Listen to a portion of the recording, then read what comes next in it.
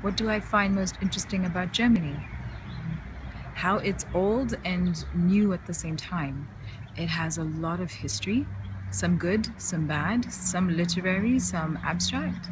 But somehow, in all of it, people are still trying to find the new.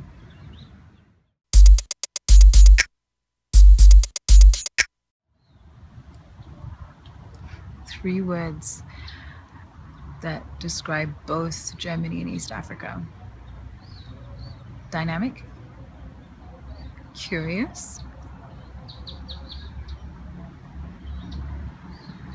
fun and annoying. There's no word that describes them both. That's one word that's those two words, but fun and annoying.